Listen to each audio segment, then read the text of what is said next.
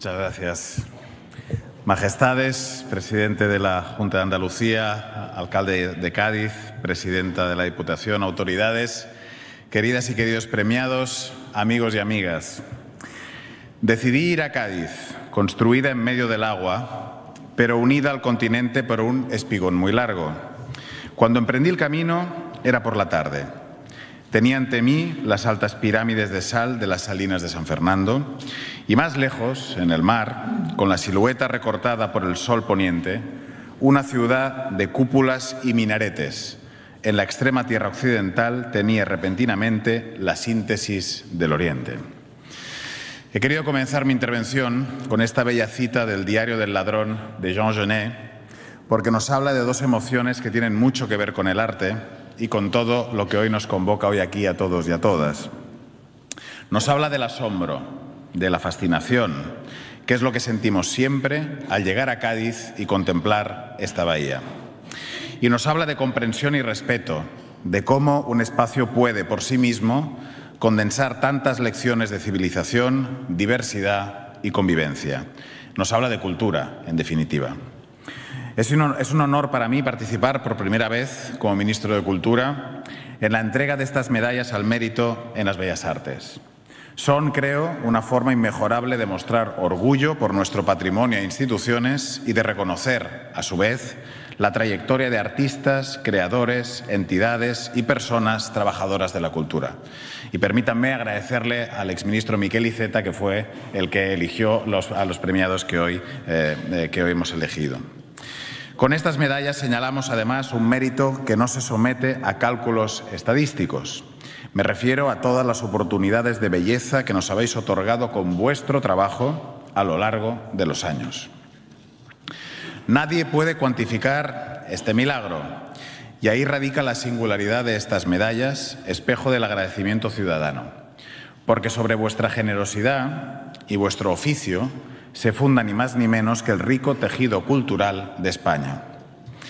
Puede que alguien no lo haya comprendido y siga considerando incómoda vuestra voz o quizá prescindible. En ocasiones os han tratado como sospechosas, como sospechosos, porque sí, sospechosamente estabais allí, en el lugar de los hechos, siempre que la, belleza y el arte han aparecido en escena porque estabais allí en la noche del estreno o en la velada de los premios para decir alto y claro que se acabó, como cantaba María Jiménez, cada vez que la injusticia, la guerra o las violencias de cualquier tipo han venido impunemente a tocar su canción. Porque siempre aparecéis en el lado luminoso de la vida, llevando entre las manos la palabra justa, el gesto artístico, la idea, el movimiento y la emoción y porque para colmo de sospechas sois la garantía activa de nuestros derechos culturales, las emisarias y emisarios de un mensaje que late cada día en el corazón de la democracia, la libertad de expresión tan bella y sagrada. No es casualidad que fuese un teatro la primera casa de la democracia en nuestro país. Un teatro gaditano, muy cerca de aquí, el Real Teatro de las Cortes, en San Fernando. Un corral de comedias en sus orígenes. Ahí se celebraron a partir de 1810 las primeras sesiones de las Cortes Generales y Extraordinarias que fructificaron en la Constitución española de 1812, la PEPA. Un debate que se prolongó durante meses, un texto escrito a varias manos, una creación colectiva y un coro de voces alzadas libremente en torno a un escenario. La cultura es la tramoya de la democracia, todo ese trabajo y esa estructura invisible que están detrás. Por eso no hay democracia sin cultura, como no hay función sin artistas, sin técnicos o sin público. Al igual que aquellos apuntadores que le soplaban sus líneas a los cómicos, la cultura le recuerda su texto a la democracia, la asiste en sus vacilaciones y en sus olvidos, le dice por dónde se debe mover. Es la cultura quien enciende las luces, quien toca la melodía desde el foso y se encarga del vestuario y del atrezzo, es la cultura la que pinta los decorados, firma la escenografía, empapela la ciudad antes de cada función, pica las entradas, acomoda a los espectadores, sube y baja el telón. Es la cultura la que produce la obra, la que garantiza nuestro bienestar, la que llama a la gente para que venga, para que se una y para que participe. Esa es también la razón de ser de estas medallas.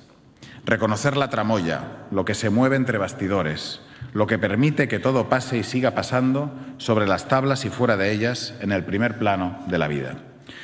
Hay sueños que no mueren, se empeñan en ser sueños, dice un verso de la poeta gaditana Ana Rossetti. Quiero daros hoy las gracias por estos sueños, que son también los nuestros, y quiero daros las gracias por contribuir cada día a una sociedad mejor, que es aquella en la que se cuenta la historia de todo el mundo. Enhorabuena a todos y a todas.